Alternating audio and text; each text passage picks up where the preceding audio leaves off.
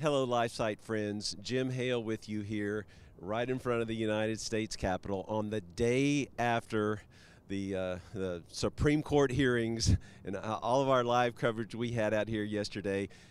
And one of the most amazing things is I, I got a call just a couple of days before the, uh, the, the hearings from our dear friend Jason Jones. Y- you all know who this this this man is, and uh, Jason said, "Jim, I'm going to be in Washington, and guess what? I have a very special person that I'm bringing down with me. So, so the the timing of this is remarkable. Many of you know that Jason is is an American hero, American pro-life hero. But but we collaborated with Jason uh, a, a month ago to help bring. We raised over three hundred thousand dollars to help bring Afghan, uh, suffering Afghan Christians, Afghans who had helped the United States military to get out of Afghanistan. Many of them have come here. We have a very special young man with us here today. But Jason Jones, it's so good to be it's with you here in the nation's capital, brother. It's good to be here with you. It's a little cold for a guy from Hawaii, but it's good to be here with you and and to introduce Mustafa. You know, you called me a hero. I'm not a hero. LifeSite News and your supporters, our supporters, are the real heroes because uh, when my organization, we started getting inundated with requests for help in early August from Christians in Afghanistan. And we were working with very large organizations to get pe- to evacuate people to safety. And when those organizations kind of pulled up and left and ran into a brick wall, LifeSite News showed up with Life Funder.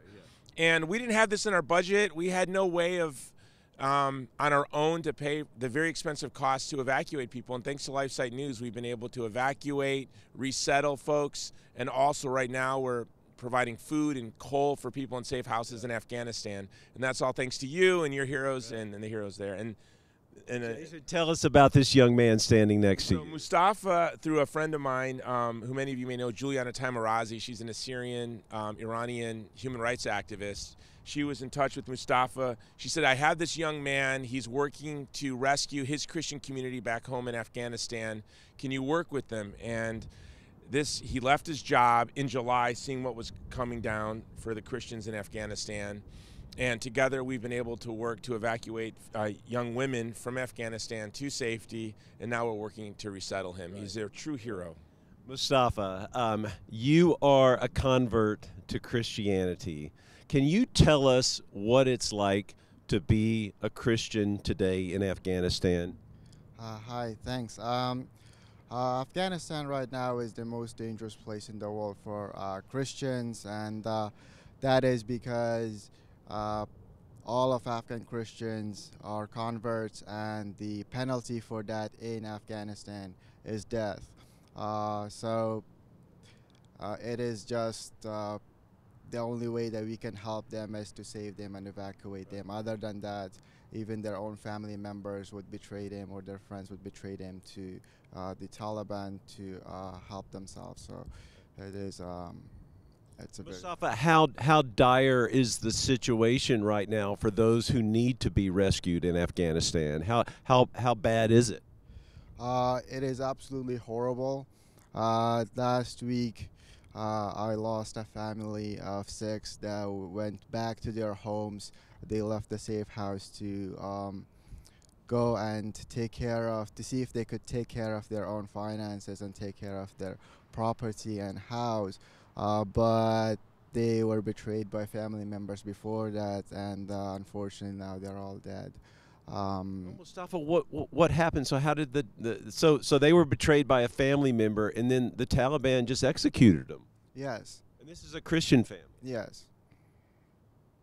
Oh, Mustafa, how, how hard is this for you to be here in America now, and and and to know how much your people are suffering in the name of Christ? Uh, it's heartbreaking. Um, I. Uh, I can't sleep. I keep thinking about them. I keep thinking about their suffering. Um, and uh, uh, since July, I've been trying to reach out to UN agencies, uh, government, U.S. government agencies, to see if we could do something for them, uh, as I believe uh, believe that uh, after 20 years of war, the Afghan Christian community is the only fruits of that operation. Other than that, Taliban were there, Taliban are there now. Uh, the only thing that's changed is that some lives were saved through Christ and through missionary uh, missionaries that went there, and now I think we owe it to them to uh, help them and get them out or provide uh, safety and um, at least safety in the winter and maybe uh, hopefully evacuate them thereafter. Mustafa, th- thank you so much for, for, for sharing that painful story with us. This is just heartbreaking. And Jason, it's this is justified anger too, because these people are getting no help from the United States government. No, I have to tell you, yeah, in early August when we started getting contacted, I didn't sleep for weeks. I mean, that's not an exaggeration. And Mustafa went weeks without sleeping. And after two or three weeks of sitting in the same place in my office on my couch in front of a laptop, I asked myself, what am I doing? Why am I doing this? And what's going on? This is, and I and I was angry. I'm a veteran, you know, and I and I our government went to Afghanistan and we threw promises around like Mardi Gras beads. Yeah. You and I didn't go throwing promises around, yeah. and they they they made promises. They broke the promises. They didn't even look over their shoulder to say goodbye. Yeah. And um, we have an obligation. And I was telling Mustafa about yesterday being here for the Dobbs case, and I, I all of this started for me when I was a 17-year-old private at Fort Benning, Georgia, and I got a phone call from my high school girlfriend that her father beat her up and forced her to have a third trimester abortion. Yep. And I felt lonely and powerless. And that's when I decided I wanted to spend the rest of my life standing with others yep. who felt lonely and powerless. And I was trying to explain to Mustafa that Roe versus Wade, our foreign policy is a fruit of Roe versus Wade. Right. Only a country that abandoned its own child in the womb could abandon its friends in Afghanistan. Only Christians that turned its back on the child in the womb could turn its back on, their, on Christians in Afghanistan. And that's why I don't think it's a mistake. It's not, it's, you know, people often think, what do you do, Jason? You're fighting abortion, you're working in Sudan or in, in Iraq or in Afghanistan. What's the connection? I, I don't understand how they don't see the connection. I want to stand with those who no one else wants to stand with. And so I don't think it's a mistake that it was LifeSite News through your Life Funder program that gave us 90% of our resources that we were able to share with what we've been able to do thanks to LifeSite News is um, we are giving them food and fuel and cell phones that, that are that's very important to be able to communicate yeah. with them in their safe houses. We're able to pay for the safe houses in Afghanistan. We've been able to pay to to take people from Pakistan uh, from Afghanistan to neighboring countries that are safer, not safe, but safer. And then now we're able to work and process visas and get them to to resettle them in other countries around the world. Um, it's a lot of work, yeah. and um, sometimes it feels intractable. We've run into brick walls, but we don't quit. We think, we work, um, and uh, we have a lot of work to do this this you know through this winter, as as probably your audience knows, and maybe Mustafa can share with you. Um, the world community has recognized that there is going to be an unprecedented famine in Afghanistan but we are in direct con- con- contact with these Christian communities. And that's why, you know, I'm glad that we can be here again because we really need people's support. We, we, we have to get them coal. We have to get them wood. And this is very important because it gets very cold in Afghanistan. We need to get them food. But we're also working. There are people every day. We're getting, there are people that if we don't get them out of the country in the next week or two, they'll, they'll be dead. So those are those emergency overland folks we have to get to neighboring countries. And then once we get them to neighboring countries, they don't want them there forever. We have to work at getting them visas, and then we have to work at getting them resettled somewhere, a new permanent home. And um, you know, I think the, the Christian vocation is solidarity with yeah, the vulnerable. Yeah. That is our vocation. Yeah. Amen. Mustafa, um, can you tell us right now? So, so the the Christians that you're in contact with, what are their needs right now? What do they need? Uh, urgently, they need uh, a safe place, uh, and they need shelter, yeah. food, and uh, heat. Right. That is their immediate need. Um, how do you find these safe houses for them?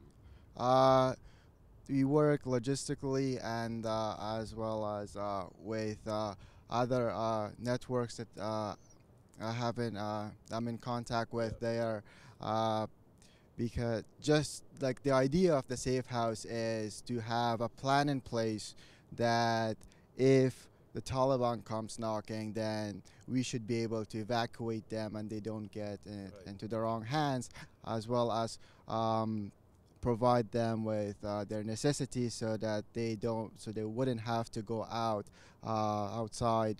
Those of them that their faces are known and they are wanted by the government, by the Talibani government. So, Mustafa, what you're describing are Christians being hunted down and executed. This, this is this is living in New Testament times, in the the first and second and third century of Christianity.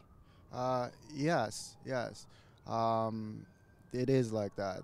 Uh, it's uh, and they are betrayed by um, members of their community, and uh, uh, we had to relocate uh, uh, around seven churches from three provinces. So just to provide them a place where they wouldn't be, where their neighbors and um, wouldn't know who they are, and we don't even let them uh, stay in touch with other members of their community who are not uh, Christian for uh, security reasons, uh, so that uh, they wouldn't endanger the lives of others and as well as themselves.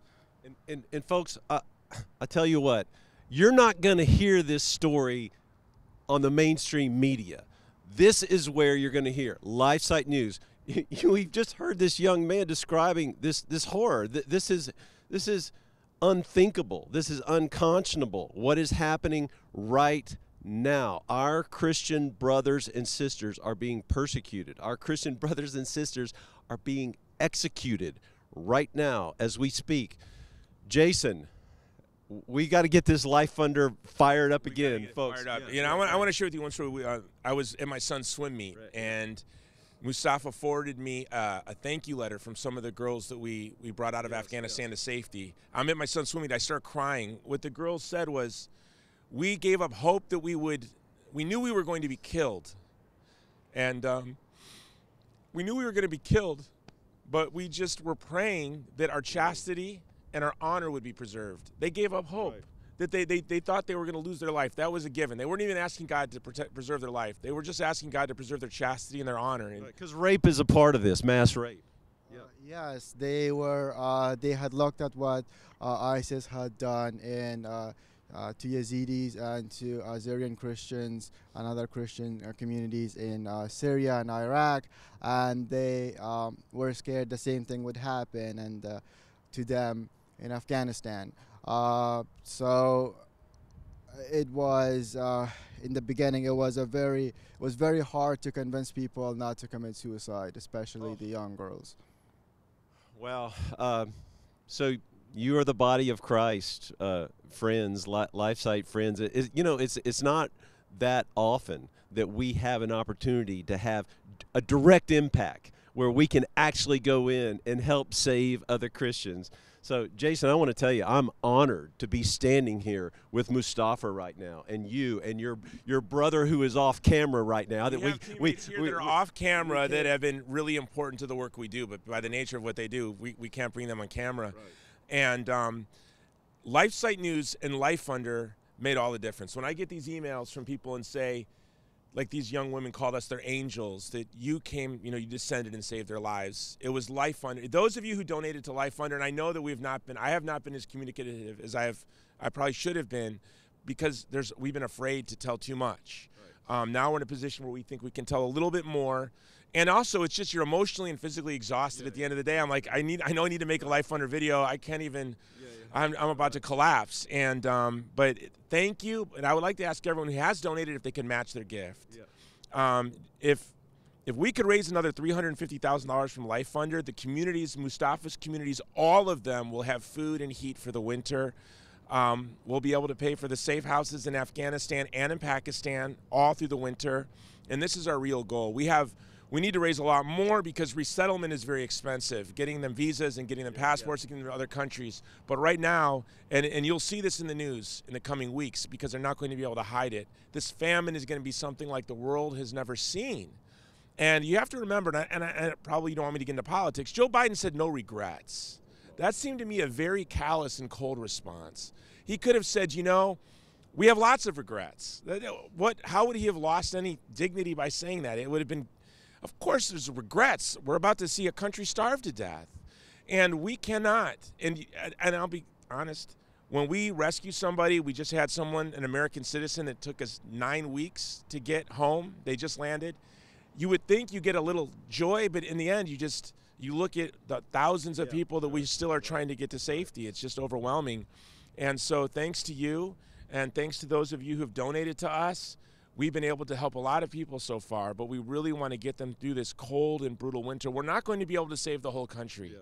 But what we want to do is, like Mother Teresa said, we want to tend to our bucket of human suffering. So um, we've dipped our bucket into the, the sea of suffering, and we're bringing that bucket home. But we need your help to tend to it. Jason Jones, I can't thank you enough for being here. You know, uh, Jason, we just spoke on Monday. I said, "Hey, are, are you going to be in D.C. for the Mississippi hearings?" He said, "Yeah," and he said, "Why don't I send Mustafa down on the train?" So you, you got Mustafa, you put him on the train, you brought him down here, Yeah. and Mustafa, brother, you're my brother in Christ. God bless you. I pray for all God's blessings on you. Please pray for this young man and all the people that he's trying to help. And please pray for this effort. And as Jason said, we ask you, we appeal to you to match your gift. If you if you donated before, if you're just seeing this for the first time, we we are, we're going to put the address up on the screen for this Life Funder. We're going to get our Life Funder coordinator Tim Jackson fired up on this, and and in this season of Advent, in this season of giving, please prayerfully consider helping our brothers and sisters who are suffering, who are in fear of their lives right now. LifeSite friends, we, we love you so much. We thank you for all you've done. Jason Jones, thank you for being Thanks, down here brother. today again, brother. Thank you very much. And Mustafa, thank you so much. Thank you. And I just wanted to add that the uh, uh, part of the reason that we uh, need that they need help is because they have uh, when they were leaving uh, their houses, uh, they had to leave their livelihood behind, and uh, they cannot access their bank accounts. They cannot access uh, anything from their past. Uh, they just rely on help from other Christian communities around the world, and uh, um, which um, uh, as well as here and uh, from Jason Jones. Uh, so their whole lives depends on our help. There you go. They depend on our help. Um, uh, it, it's an honor to be able to to to to be a voice to to to to give you a platform so we can hear your voice, Mustafa and Jason. Um, LifeSite friends, thank you so much for, for, for being with us today. We pray for all God's blessings on you, Advent blessings on you and your, your families throughout this Christmas season. Thank you for all the help you've given us before. And uh, we'll see you next time. Reporting from the United States Capitol in Washington, D.C., Jim Hale, LifeSite News.